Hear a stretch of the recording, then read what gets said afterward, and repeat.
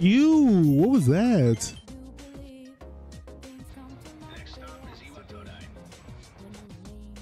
We're going to be playing uh, this for the first time over on the channel. I tried to play the original one, but like it was not good because I was playing the portable version. That's the Dark Hour. A time period hidden between one day and the next. They only appear during the dark hour and attack anyone who roams free outside the coffins. It's our job to defeat them. Pretty exciting, huh? Next! Come on! Why do you try to fight when you know it's hopeless? In fact, I don't even really have a good reason to live. Damn, what? Whoa, why are we getting all serious now? Just simply existing gives our lives meaning. Okay. Soon, the end will come. We are not giving up, no matter how long it takes. To me, this is what it means to live. All right. Persona 3 The Reload. Black History Month. Gang gang. All right, let's It's a story about a world very different from ours. Tis a world where all people are equal and no conflict exists. What? That sounds like a boring ass world. To put it another way, this is a fantasy. Yeah.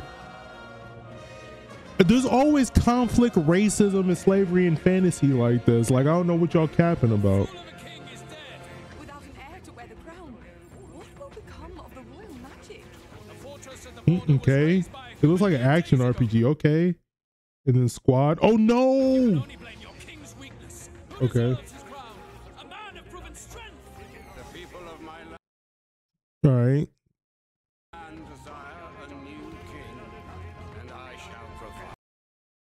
No. Stop. Why now?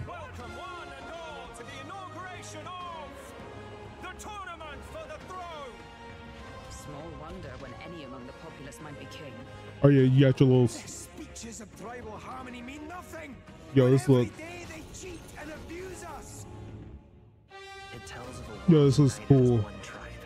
If only our lives were anything like the world in your novel. Our lives are decided at birth by tribal purity, or by the differences that make us who we are. There was a plot in his life. Okay, this looks interesting. I like. I really love the art direction for this, bro.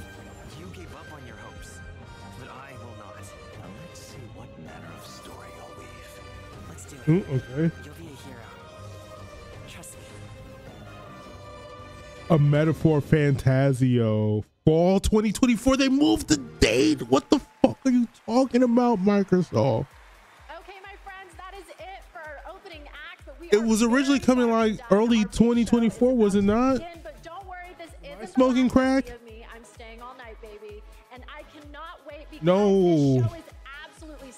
I want you to have tons of big leave. Take a seat.